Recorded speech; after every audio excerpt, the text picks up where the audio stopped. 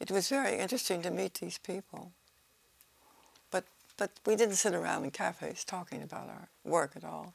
I think if anybody had mentioned his or her work, uh, everyone else would have got up from the table and walked away. The only people, as I think I mentioned to you before, the only people who came and relaxed in the evening were uh, the painters, Picasso, and they would work all day and then come out and drink and talk in the evening. And they were much more political than most of the writers there.